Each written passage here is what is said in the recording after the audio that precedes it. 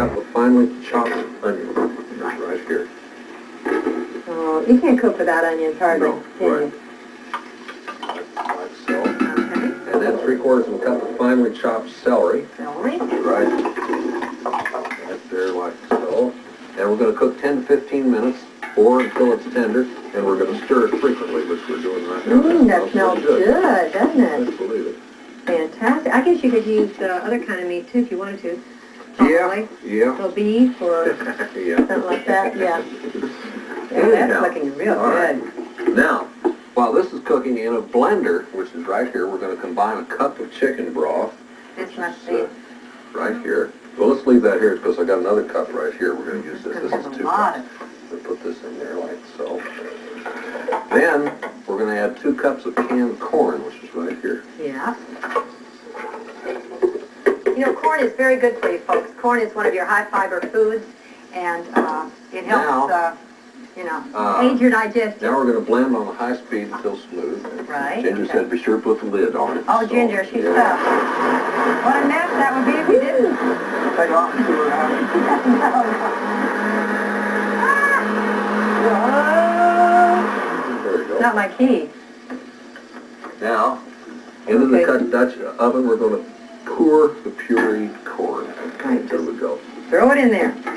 This looks like corn milkshake. Mmm.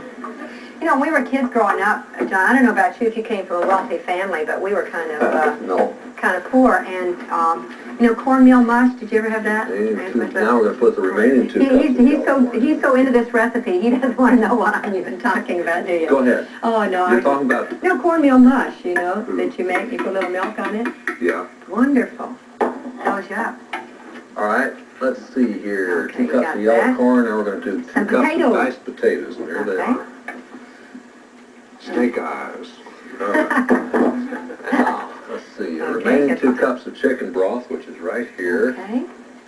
Got all kinds of things here. and a half a teaspoon of salt. Okay? Now, during rehearsal, I, well, I won't tell you, we won't talk about that. No, but actually you should just salt the taste, right? You can use as much as you want. Yeah, just like, Not too much. I don't like it too salty, so. okay, well, Because it's not good for you, too much salt. That's true. You know, it makes you swell up. now, now the remaining two cups of chicken broth, put the hands in and then let Okay. boil over high heat. All right, now we're supposed to increase And while that's simmering for a second, we have a, a second here. I want to ask you something now. You spend a lot of time on, on boats. You Mhm. love Mhm. river boats. Mhm. What kind of cooking do you do there? Well, we usually have somebody else that does the cooking, although at one time, uh, I had done a little bit of cooking, and I, I would say my, my main dish on the boat was a vegetable omelet. Oh, that sounds Or what could be loosely called a vegetable omelet, you know. You throw in everything, right? Yeah. Everything that's left over? Yeah. Okay, so you're going to just We're simmer gonna this? simmer this, and we're partially covered to simmer it for about Yeah, minutes. I see something, uh, uh, here, heavy cream, I see. I Is don't it? think we're ready to do that yet. Oh, You're let's not? see, we're Oh, yeah, throw it in, I a little bit more. Yeah, I forget this is television. Well, yeah, we can't really simmer as long as yeah, it right, says, okay, but okay. probably about 15 minutes you'd simmer it, I would guess. Oh, boy. Then, oh boy, nothing rich about this. No. All right, now. A little chopped parsley? We're gonna put some chopped parsley in here, two Okay. teaspoons. Now, now, I, you're real lucky. I eat a lot of garlic, and I didn't eat any today, and you're honored.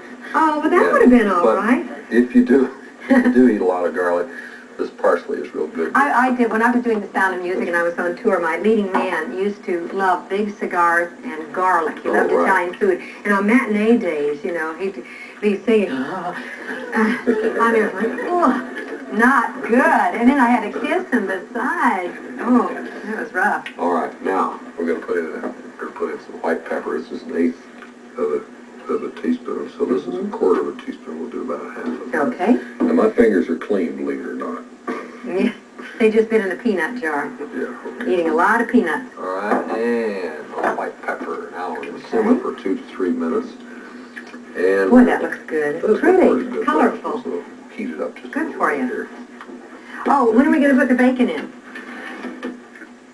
Johnny? put it in right about Okay. now. You wanna do the honors? Sure, I'd love Dump to. that bacon. Here it comes. Here, ooh, that looks pretty. Getting more and more colorful all the time. okay. So if you want to add more seasoning, you can, or Right. less, whatever. If you like spicy you you know what might be good if you put a little Tabasco in there. That might just sharpen I it. got awful bland palate for that. You know we're forgetting What? the Wesson oil. We never forget No, Wesson oil. It grows out of my ear. Oil. Yeah, throw a little in there. Okay, while Johnny's putting the Wesson oil in the corn chowder, I'm going to recap his recipe for you. So get ready. Here it comes. You uh, get a Dutch oven, and in there you put your cooked bacon, and you, you cook it until it gets real crisp, and then you take it out and you drain all but two tablespoons full of the drippings. Then you add chicken breast, chopped onion, and chopped celery. You cook for 10 to 15 minutes, and then in your blender you combine chicken broth and yellow corn, and you blend until smooth. And then in your Dutch oven you stir your pureed corn, remaining corn, potatoes, remaining chicken broth, and salt, and then you boil it. You reduce your heat and you simmer for about 20 minutes. And then you stir in heavy cream, heavy cream, chopped parsley, white pepper, simmer for two to three minutes, and then you stir in your diced bacon. And you're going to have really some fantastic, fantastic corn chowder. So um, I, I want you to come back because get ready, those two crazy guys, I'm sure you know them.